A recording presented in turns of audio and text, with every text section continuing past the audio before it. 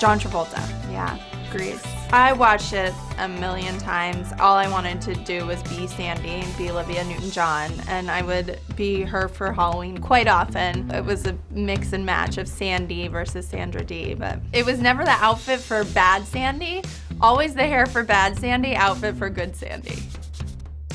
My best friend and I, we used to play Saved by the Bell all the time. And it was like always a big fight who was the Jessie and who was the Kelly.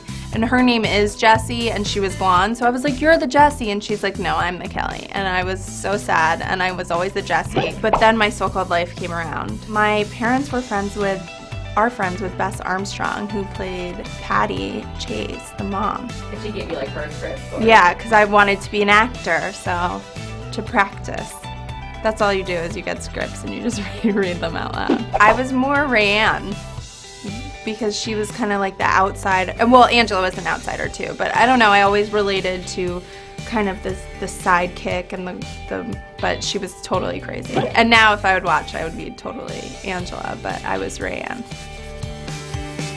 We tried to do Salt-N-Pepa, but it was really hard. It was the um, Shoop, which is fine when you just say, what's my weakness, men, and then you have to keep rapping, and then it gets really difficult.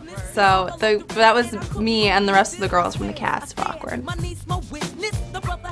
Well, Mean Girls, obviously. Bridesmaids now. My sister and I just watched the on the, the there's like a new version that has more of the stuff in it. Who's Afraid of Virginia Woolf? Actually, I quote a lot. What a dump. What's that from? That Warner Brothers picture. So we always do that. I don't know why.